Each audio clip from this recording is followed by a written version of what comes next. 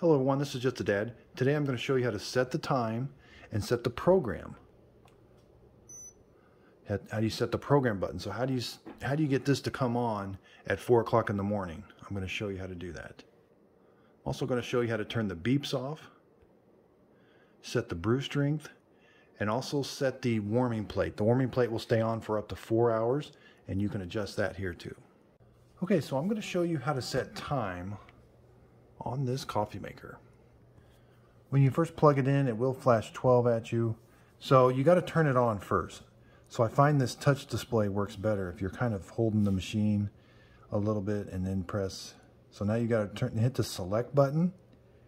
You're going to cycle through. There's strength. There's one to four cups. There's the clock.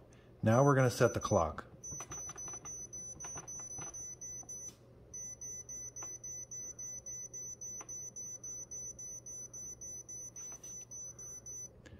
Sorry about that. So the my, this button sets the hours, and this one sets the um, the minutes.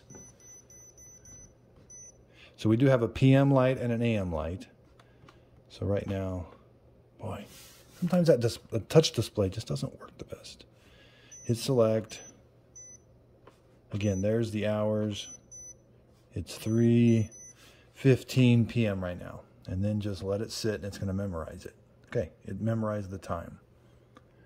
Okay, so we can also change how long the warming plate stays on. The default is four hours. After it's done brewing your pot of coffee, it will stay on for four hours. Then the coffee maker will turn off automatically. Again, turn it on, hit the select button, kind of step through. Huh.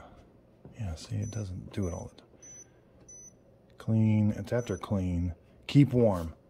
So I can change this to 0, 15, it goes in 15 increments all the way up to 4 hours. So let's do 2 hours and 45 minutes. That's how long the warming plate will stay on. And I can change that from 0 to 4 hours and 15 minutes. Okay, so let's say you want to turn that beep off. It does get a little annoying. And it will turn it off after it's done. Finished brewing this pot of coffee, it does beep at you. So hit the select button all the way to the end after clean keep warm, program. See how that's flashing? Hit the program button and that'll come on steady. Now, now there's no beep. And it won't beep at you when it's done brewing a pot of coffee either. So now let's say you want to brew a pot of coffee to come on at 5 o'clock in the morning. Make sure you've got your water in the back filled up and your coffee grounds in before you go to bed. And now I'm going to show you how to set the display. Now I was having a little bit of trouble with this, so you got to turn it on first. Turn it on by hitting that once. You got to hold this program button. And then it's going to change. Now you can set the time. This one sets the hours. Make sure it's on. There's an AM and a PM. I want AM. I want four. Let's, then this is the minutes. I want four. 4:15 a.m hit the program button one more time, or I can just let it time out.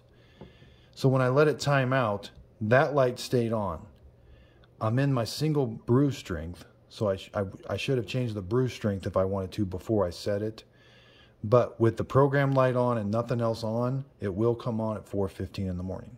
Now let's say I want to cancel that, hit that button. Now I want to set my strength. There's the strength. So let's go a bold strength.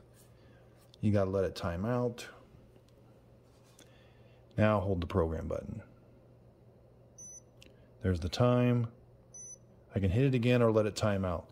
Now it's on the full bold strength. The program light's on. It's showing current time, but it is going to come on at 4.15 a.m.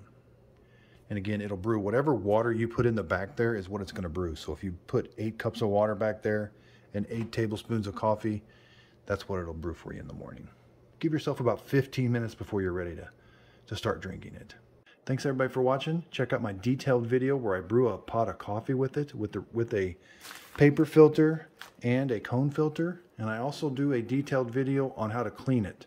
When your clean light comes on, I show you how to descale it with white vinegar. Thanks everybody for watching. If you could, please like and subscribe.